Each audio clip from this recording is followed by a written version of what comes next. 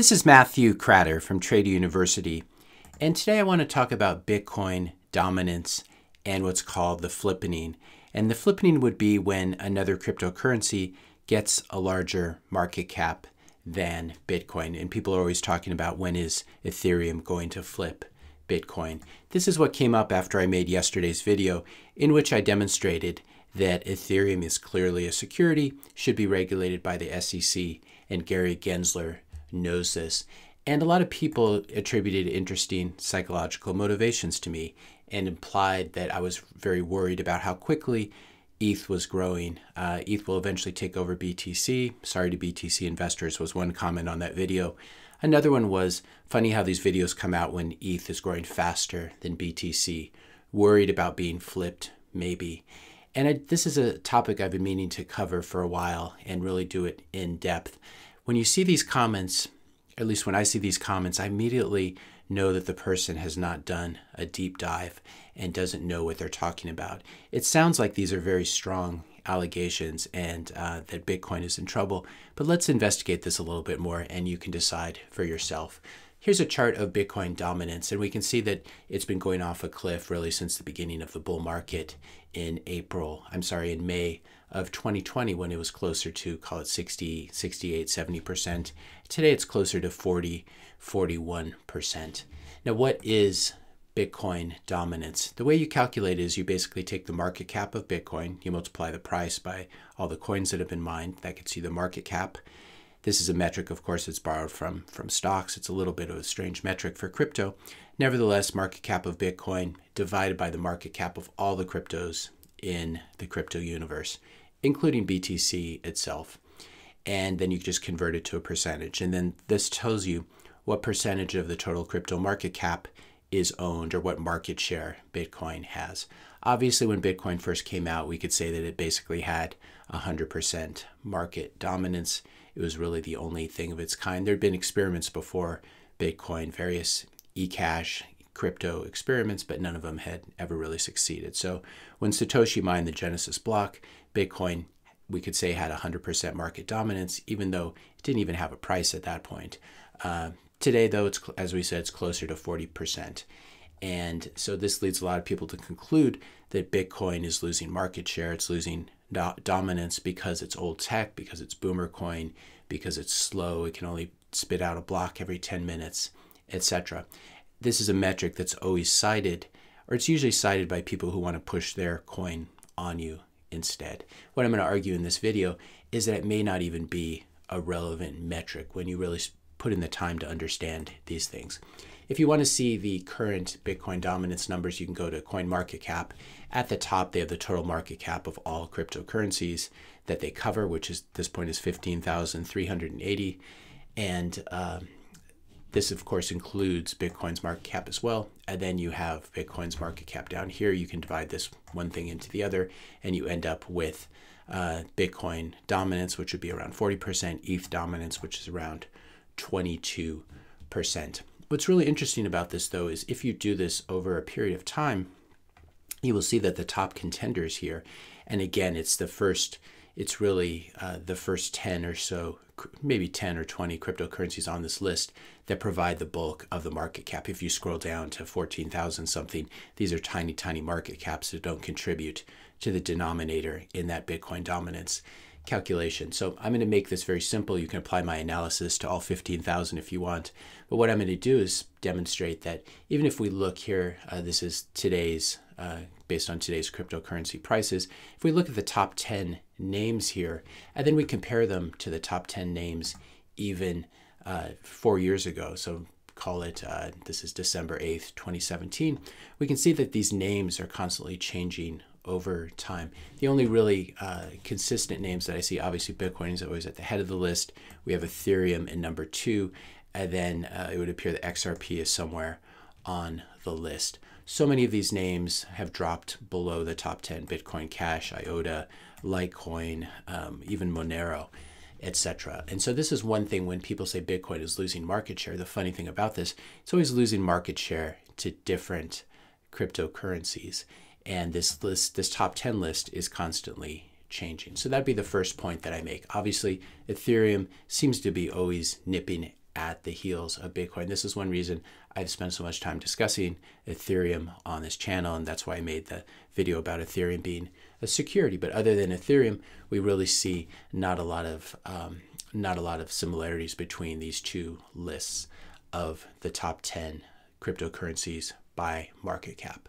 So that would be the first point. Before I go on to the second point, I just ask you if you're finding this video helpful so far to be be sure to hit that subscribe and like button. I'm finding that there are a lot of people watching my videos who are not subscribers. This is one of the metrics that YouTube allows you to see at an aggregate level.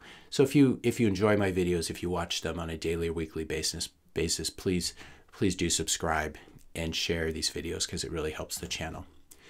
Okay, so let's go back to this top 10 list. Obviously, Bitcoin at the top, but we have some strange coins in here when you think about it. People take it for granted when calculating Bitcoin dominance. We have Tether right here, and then we have USDC. Now, these are both what are called stable coins or US dollar stable coins, and they're basically pegged to the dollar. They're, they may or may not be completely collateralized. In other words, the, the centralized issuing facilities and companies that issue these may or may not have enough dollars to cover them. I would say that doesn't matter for the, for the purposes of this argument. The, the bigger problem is counting these in Bitcoin dominance.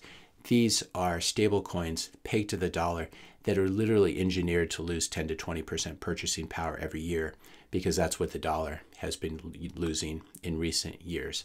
So these are not, uh, I would not say I'm worried about USDC and USDT displacing Bitcoin. The whole point of Bitcoin is to get away from fiat currencies. US dollar is probably the best of the bunch, the US dollar, the Swiss franc, but it's still absolutely terrible. And imagine storing your wealth in something that loses 10 to 20% purchasing power every year. The other problem with USDC and USDT, of course, is that they're eventually going to be replaced by central bank digital currencies by a crypto version of the US dollar that's completely controlled by the Fed. So they're not even going to be around uh, forever. That being said, feel free to use them if you want. But what I'm arguing here is that they really should not be counted when calculating Bitcoin dominance. They're not a threat to Bitcoin. The US dollar is not a threat to Bitcoin. Next thing I would say about this list is that many of these cryptocurrencies, I'm going to pick on XRP, are not that liquid. If you try to dump any significant amount, you will move the market sharply lower, even among the top 10 names here. And XRP is one that's notoriously illiquid, in part because it's been delisted in, uh, in so, from so many exchanges, uh, especially in the US. So I would say that some of these market caps, XRP in particular, are actually quite fake. And they're a lot like a recent IPO market cap in the stock market before the six month lockup expires. So what you have in that situation is the stock can trade up. There's a supply shortage. There's a squeeze when it first comes public, and then what happens is there's all this this uh, this supply on the sidelines that then comes out and dumps on the market. We've seen this happen to many many IPOs over the last uh, six months or so. And so when you're going to determine the market cap of something, you need to have a free floating market. And if there's a giant um, if there's a giant uh, unlock coming that's going to tank it, you need to take that into uh, into consideration as well as as well as all these liquidity considerations. Ripple, the company, still owns holds the vast majority of XRP tokens, and these are going to be slowly dumped into the market. This is the main way that Ripple as a company makes money. This is why the SEC is suing them. Hopefully, they can put these people in jail before they end up dumping the remainder of their XRP on the very naive retail buyers, the XRP army, who for some reason loves this token. By contrast, when you contrast Bitcoin and its liquidity to something like Ripple, just to something like XRP, Bitcoin is the deepest, it's the most liquid crypto market in the world. Its price discovery is real when you say that XRP has a market cap of 38 billion. This is not at all um, this is not at all sustainable it'd be very easy to move this market cap 10, 20, 30% in either direction just by selling, uh, putting a large, large order in. So you talk about Bitcoin whale price manipulation, which I, I don't really think is a thing. By contrast, these other much more liquid currencies, cryptocurrencies, have a much bigger problem. Bitcoin has uh, it, it, it's very volatile, it moves around, but I would suggest that its price discovery is real. You can sell a billion dollars and make the market go up, uh, make the market crash down temporarily, but then to get back in, you have to buy a billion dollars and that will make the market go back up. I think people overestimate the power of whales. Here's what fake price discovery looks like, and here's how I could completely mess up coin market cap. I could print up, let's say I decide to do my own coin, which I would never do. Uh, I could print up 3 trillion, just to pick a, a random number, 3 tri trillion of this new cryptocurrency that I'm going to call Kratter Coin. I could print up 3 trillion of them, and I could sell just one of them or two of them for a dollar. At that point, the market cap of Kratter Coin would be 3 trillion. You take $1 times 3 trillion, that's the market cap. At that point, uh, Kratter Coin would have a much larger market cap than either Bitcoin or Ethereum. It would flip in everything. And as a result of Kratter Coin, Bitcoin dominance would plummet. And this might be great for my marketing department if I had one, uh, but this would not suggest that Bitcoin is under threat at all. And what we should say is that most of these 15,000 cryptos are just like Kratter Coin. If you scroll down and and look at them, they, they barely trade at all. They're highly illiquid, and so they really shouldn't even be. Um, it's a it's a misleading metric to include them in the Bitcoin dominance uh, calculation. Then we have the category. If we if we look at these names, we could we could include a lot of them under the category of Ethereum killers, uh, cryptos that are trying to displace or flip in or flip Ethereum. We have BNB, Solana, uh, Dot, Luna, etc. And these, the pitch here, of course, is always it's fees, it's faster and cheaper, lower fees than the Ethereum network, which has really suffered from congestion and sky high gas fees. So you can see why these exist, uh, and they are slowly taking market share from Ethereum. When people say that Bitcoin's about to get flipped by Ethereum, what I often say is that it's it's much more likely that one of these coins is going to flip Ethereum first, which would be the ultimate irony.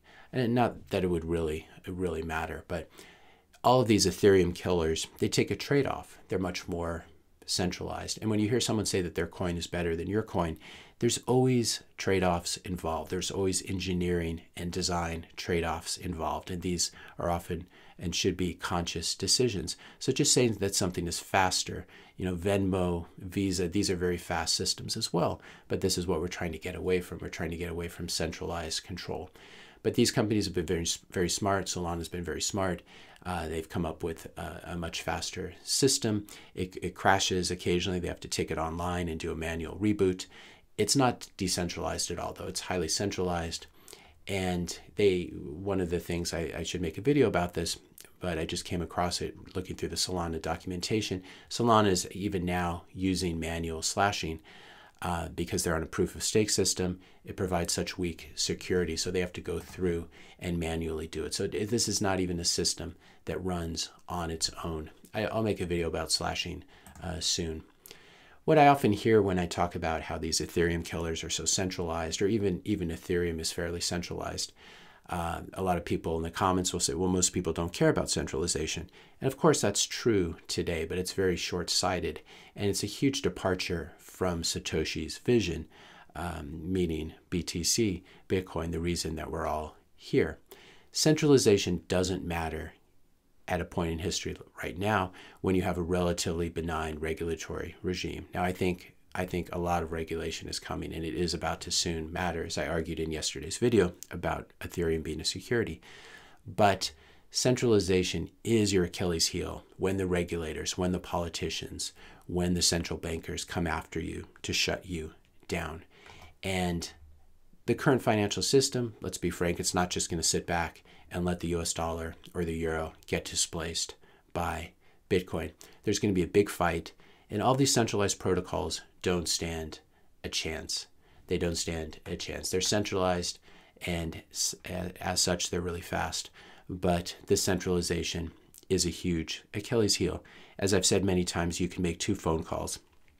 You could call up AWS, Amazon Web Services, which went down yesterday, and you could also call up Infura. And doing this, you could shut down the vast majority of the Ethereum network at this point because they run on these centralized services. That's another reason Ethereum is such a, a joke. And if you if you went to Amazon headquarters or if you went to AWS headquarters, you went to Infura, and you went there with a small army or a small uh, government force and told them to turn various things off, they could turn off Ethereum in its current incarnation. A lot of people won't uh, tell you that. So another problem with this top, these top 10 cryptocurrencies that are used to, cut to calculate Bitcoin dominance, almost all of them had large pre-mines or pre-sales, Ethereum, XRP, Cardano, Solana, just to name a few. I'll show this uh, initial target, initial token allocation chart again, where the red shows insiders and their initial uh, tokens that they were given or that they bought at very low prices. This includes the development team, the company, and VC purchase tokens. Of course, when you have a company, eh, that just that gives that gives away the secret that this is a high, these are highly centralized, uh, highly centralized protocols and development projects. Solana is one of the biggest offenders, having 48%, uh, DOT 33%, Binance 50%, etc. And so this is this is this is the initial state of these projects, and the initial state matters. When you have VCs at the helm, things become very different. If you don't believe that, you can watch my recent video about Solana billionaires laughing. Uh, Solana billionaire venture capitalists, VCs, laughing about how they're going to dump their Solana on retail investors. This is very real. And as Warren Buffett would say, if you're playing poker and you don't know who the sucker is at the table, the sucker is probably you. This is a great description, I think, of the the uh, the altcoin space as well. It's if you have a pre-sale, if you have a huge pre-mine, if you you you start your company, your cryptocurrency, your new global currency using venture capitalists, it's impossible to end up with a new neutral global reserve asset or new reserve currency when you start off with a large allocation to insiders and VCs. Bitcoin, as I say many times, had an immaculate conception. It started in a very special way, and the founder left the project very early on and left the steering of the project to, to the community at large. It's very different when you have very large insiders and you have VCs. Again, you might talk about Bitcoin whales or OGs who hold huge amounts of Bitcoin. They have no influence whatsoever on the development or protocol. Bitcoin is very different this way. It leads by soft forks, which are backwards compatible, whereas something like Ethereum, it leads by hard forks, and um, the developers in that case are really in charge in Ethereum because they can just hard fork you away from your coins. Now, you can call a new cryptocurrency like Solana, you can call it neutral, but it's not. And one of the ways this has played out, of course, in, in Ethereum is insiders have a huge influence over future monetary policy.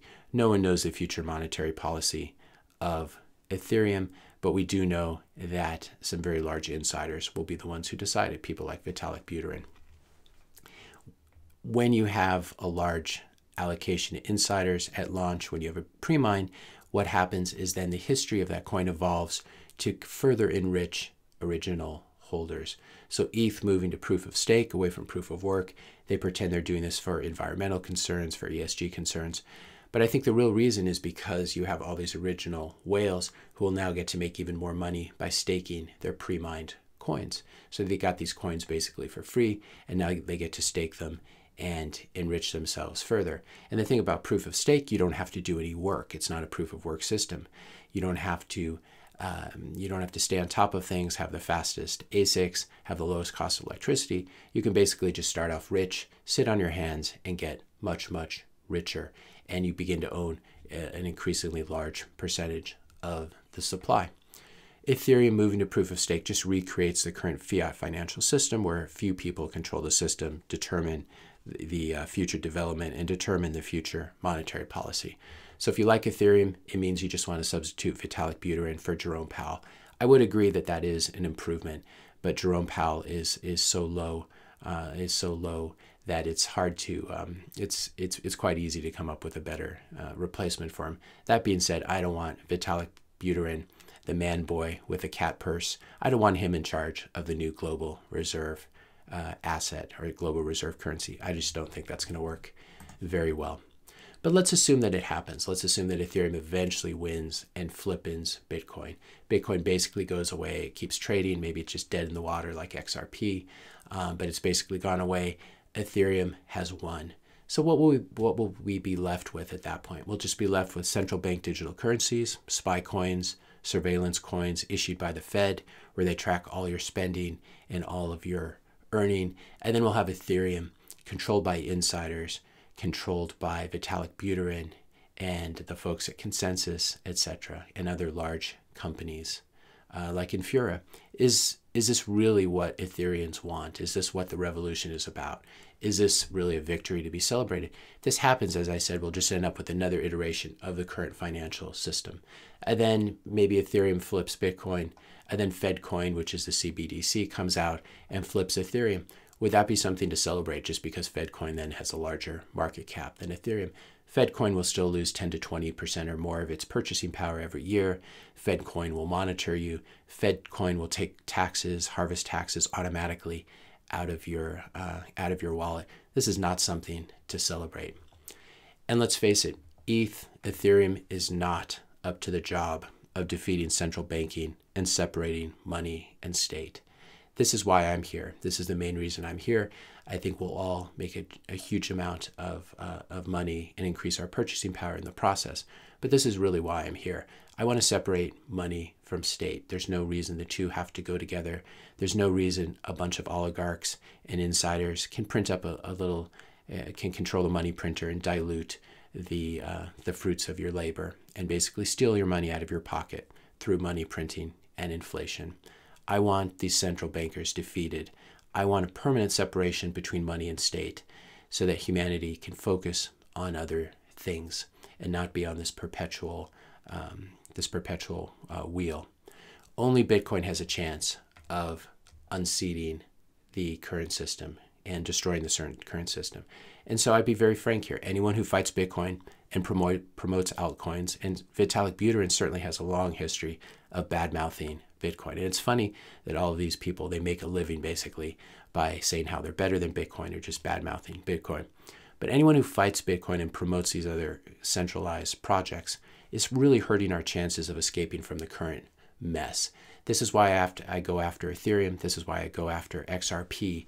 It's not because they're personal threats to me. I could have, um, it, this is not what I'm in it for. It's because I want to see an escape from the system and I want my children and grandchildren to not live in the world of central banking.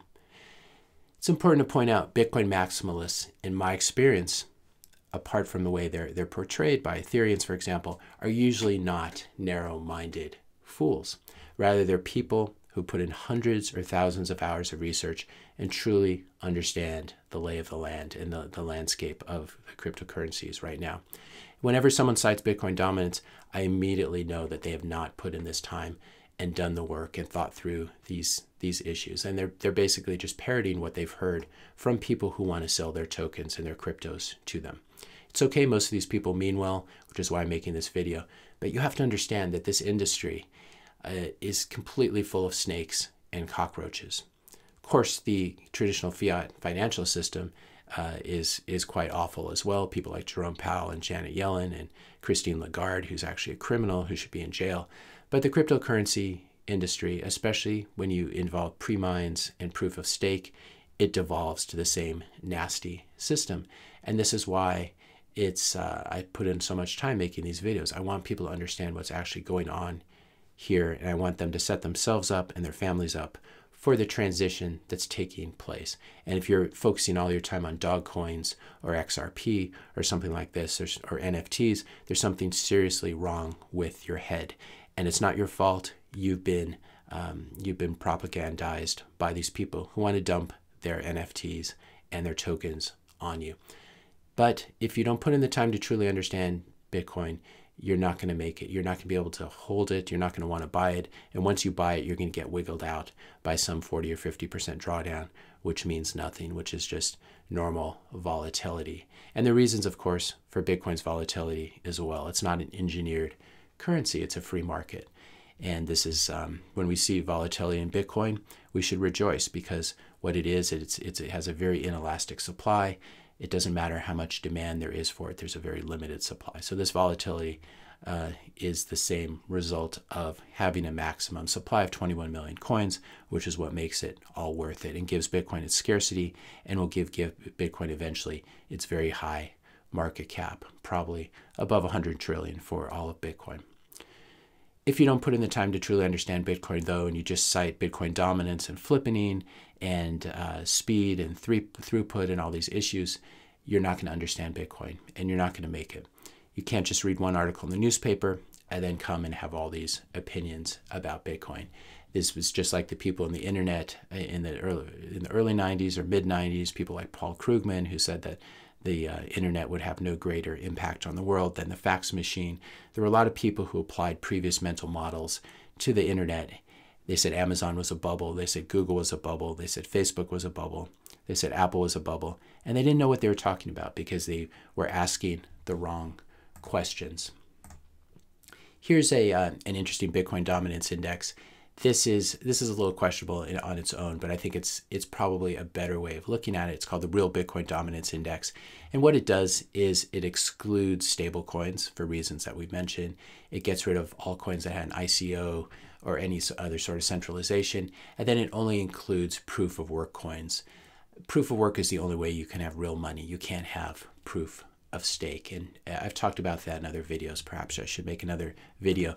But so the only the only other currencies that are calculated in this market in this Bitcoin market dominance index are these proof of work currencies. And we can see there are a lot of them here BSV complete joke um, the uh, creator of that who you may have heard about in the news. If he were Satoshi uh, he should be able to move his original Bitcoin around. He can't. He has to rely on the legal system instead uh, Bitcoin Cash, BSV, these are all failed forks that have massively lost uh, hash rate. They've been subject to 51% attacks, and their market caps are just a tiny fraction of where Bitcoin is. Uh, Monero, I would say, was the most interesting of this bunch for its privacy purposes. I don't think it ultimately accrues value, though it could be a useful tool to use along with Bitcoin when you want to spend Bitcoin. And we have these coins we've never heard of, Bitcoin Gold, uh, Ethereum Classic was the original version of Ethereum that didn't go along with the uh, the DAO rollback, etc. So here's one way to calculate. And then, of course, Ethereum is in this index. Ethereum will drop out of this index when it moves to proof of stake. So this this might be a more realistic version of Bitcoin uh, dominance when you look at it in this way. That being said, when you look at the individual names in here, there's nothing in here that can compare to BTC uh, when, once you put in the research. Final thoughts Bitcoin dominance also typically falls in bull markets and then rises in bear markets. This has been a pattern, even if you accept Bitcoin dominance, which I don't think you should for the reasons I've talked about. We can scroll back here and see from the in the in the, the depths of the uh, bear market in 2018, Bitcoin dominance was like at 36%. It went back above 72% in the bear market in the crypto winter. And then, of course, it has plummeted since May of 2020 in the crypto bull market. It's funny, of course, what do we mean by crypto bull and bear markets? Well, they're always kicked off by the Bitcoin halving and the subsequent uh, four year cycle. This is the other irony. Bitcoin, everyone defines themselves relative to Bitcoin, and even the crypto, crypto spring, summer, fall, winter cycle is based on Bitcoin halvings, which is uh, really tells you what the real driver is in the space. But Bitcoin dominance typically falls in bull markets and rises again in bear markets. This is what we'll see during the next crypto winter. At the same time, as we mentioned at the beginning of this video, that list of altcoin competitors changes over time while Bitcoin remains the same. Bitcoin has the largest market cap, deepest liquidity, most institutional interest, has that first mover advantage, the Lindy effect working for it, unchangeable properties, which include a credible long term monetary policy that's built into the protocol that's not decided by someone like Vitalik. By contrast, alts like Ethereum, they're constantly changing their marketing, their use case, as well as their monetary policy. Bitcoin also is the only cryptocurrency that had a fair launch, that doesn't have the founder still present, and that is not centralized. Further, its function as a store of value, this really is the biggest category in the digital age, and Bitcoin is poised to win this category. I often see people say, well, Bitcoin's the best store of value, but XYZ coin is better for this and that. Uh, useful things do not necessarily have a larger market cap. For example, aluminum is a much more useful metal than gold, but it's a much cheaper metal in spite of that, simply because it's a bad store of value. It's a very common, it's a very common metal.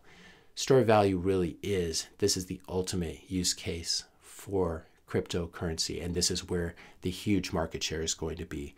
It's the largest category in the universe simply because all present wealth and all future wealth, or a huge percentage of it, will eventually find its way into Bitcoin as the hardest money that's ever been created. Bitcoin dominance and the flippening, what's the conclusion? The conclusion is if you ask the wrong questions, and especially if you if you let altcoin promoters or someone like Vitalik tell you uh, tell you which questions to ask, this is the classic sales technique where you ask the right questions that will get the answer that gets them to buy your product. With Bitcoin, if you ask the wrong questions, you will end up with answers that will not provide good guideposts for what is coming. Bitcoin dominance is basically a meaningless metric the way it's currently calculated. Bitcoin dominance, if you want to understand Bitcoin dominance, you look at the max, uh, the maximum supply cap, you look at the decentralization, you look at the anti fragility and the robustness of this apex predators of money, and you know what's coming. You don't need to look at a silly Bitcoin dominance chart. If you found this video helpful, be sure to hit that subscribe and like button Hit the notification bell if you want to be notified when I publish my next video. And let me know your questions and comments in the comment section below. Thanks a lot for watching, and I'll see you in the next video.